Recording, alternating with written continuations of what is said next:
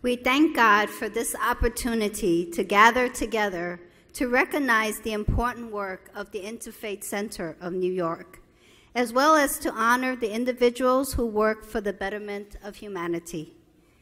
At times, we may feel that it is only religious leaders or others in formal, official leadership roles who are qualified to undertake interfaith dialogue and the work of social justice. While some individuals may have positions of influence, all share in the task of interfaith work. All have a role.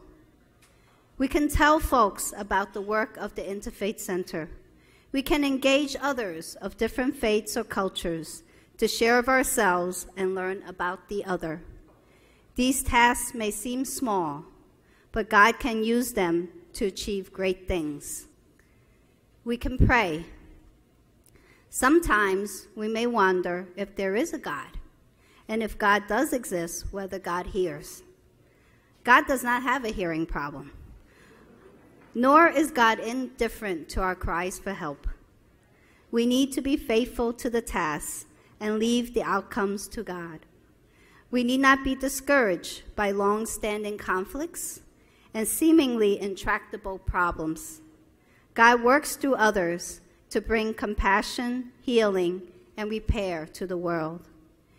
We have many blessings of family, friends, meaningful and comfortable lives. We have a responsibility to work for those same blessings for all. May you know God's love for you and that you are not alone. God walks with you.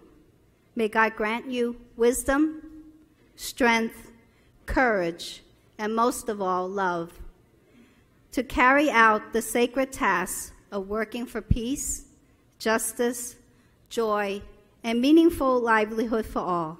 God bless you and yours. Amen.